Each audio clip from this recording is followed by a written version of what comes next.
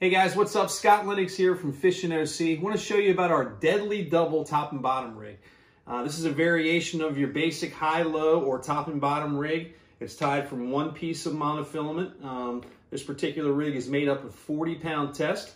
We'll start at the top here. We've got a ball bearing swivel directly tied to that with a drop off to the side, an 18-inch leader to a 4 live bait hook, spinner blades, and five beads, three pink and two chartreuse. Drop down again about 24 inches. We've got a sinker drop here, real easy clip.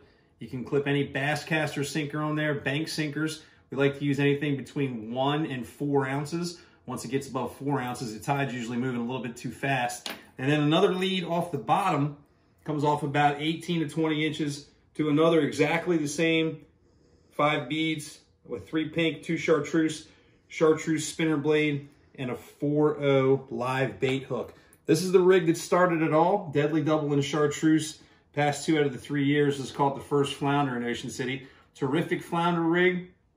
We like to bait these with gulp usually. We like to use otter tails as well. You can also use strip baits. You can use live baits like minnows. Um, it's even big enough hook on here. You can use small bunker and small spot. Terrific inshore bait for fishing for flounder, drum, trout, rockfish, you name it. Really, really great rig for inshore fishing. Just as simple as tying on your main line here, snapping a swivel to the sinker snap, putting a couple of baits on, and dropping it down to the bottom. Comes in four colors, the mainstay being chartreuse. Also comes in white, pink, and brand new in 2022, the orange. Looks just like salmon red. Terrific flounder fishing rig right here.